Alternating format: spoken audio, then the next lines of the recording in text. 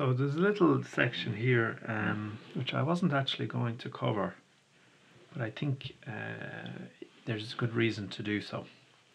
And what it's about is using these finite differences um,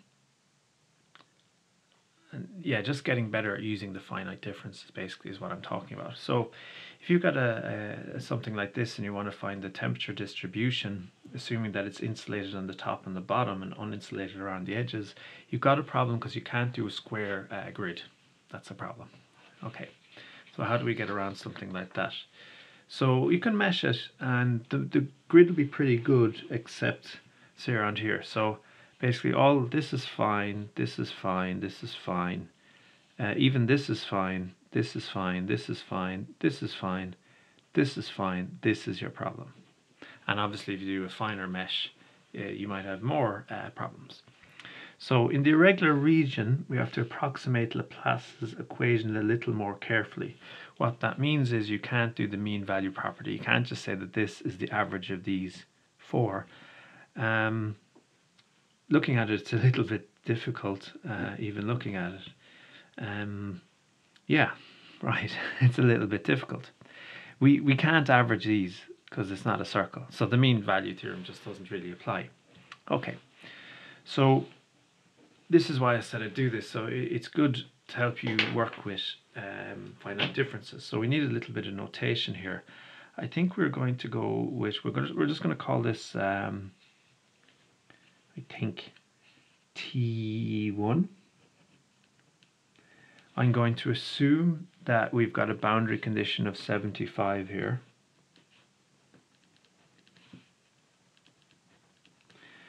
And we're going to call this temperature T. And you see, what we need to do is to be able to approximate the second derivative of t with respect to x, where this is x. Okay. And it's let's see how we get on. Um, I seem to have lost the page, which is not ideal.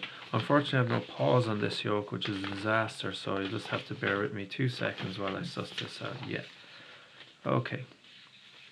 Right. We'll do our best here. Okay. So this is saying with the finite differences, rather than using kind of formulas that are say will be given to you in an assessment. Um, just do rise over run. Just do rise over run. Now this delta x,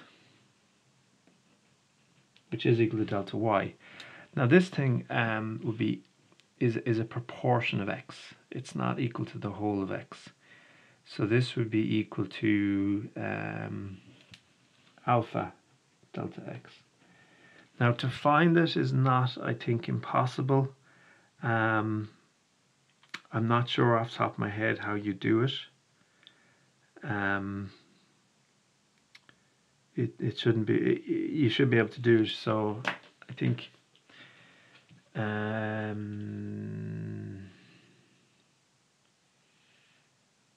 if you draw something like this, yeah, look, I won't, I won't worry about it, but it, it shouldn't be too difficult because it's a point on a circle. Uh, you've got the equation of a circle you know the y coordinate, you can find the x coordinate. And if you know the x coordinate and you know delta x, you can find alpha delta x. Alpha here is just a proportion thing. Okay. Anyway, I'm only trying to just, I'm more interested in the finite differences more than anything. So what you're going to do here is um, evaluate the first derivative at two different regions over this region and over this region. So this will be, say, t dashed right and t dashed left. And we're interested at this point. And what you do is you do rise over run. So over this period, the the, the, the rise over run or the change in temperature of the distances, T1 minus T is the difference in temperature over delta X.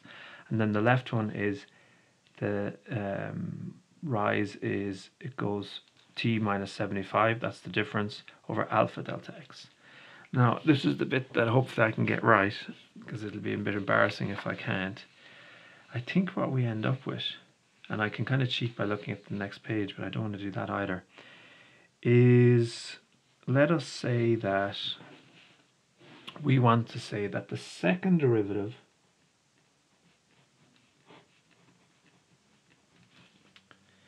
remembers the rate of change of derivatives. So this should be approximately a change. I don't know if I'm going to get this right. In the first derivative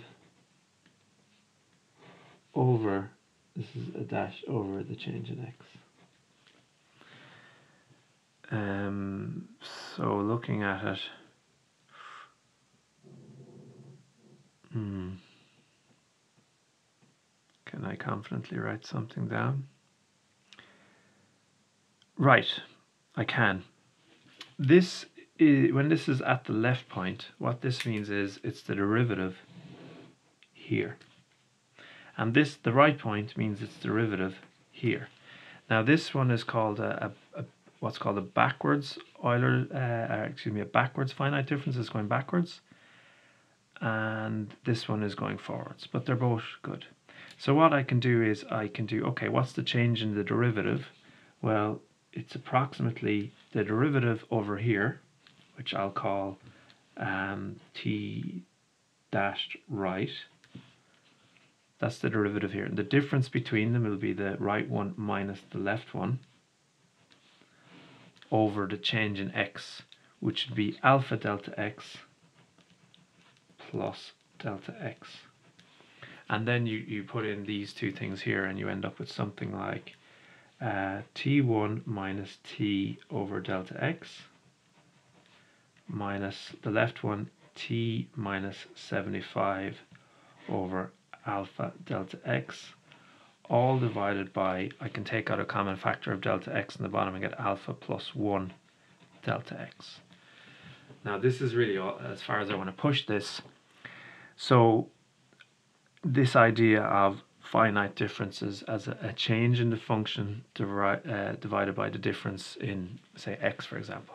You can simplify this, and what you actually end up with is something like this.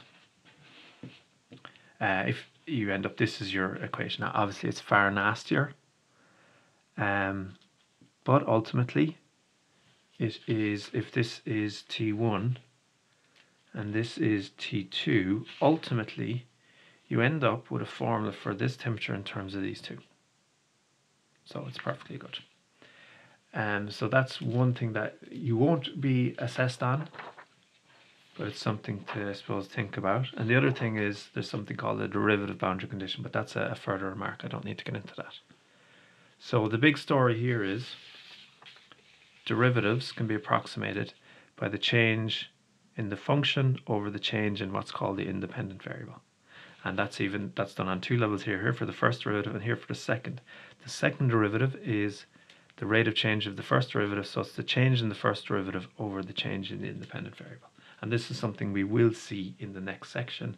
It can be done with a formula but can also be done on a looser level just rise over it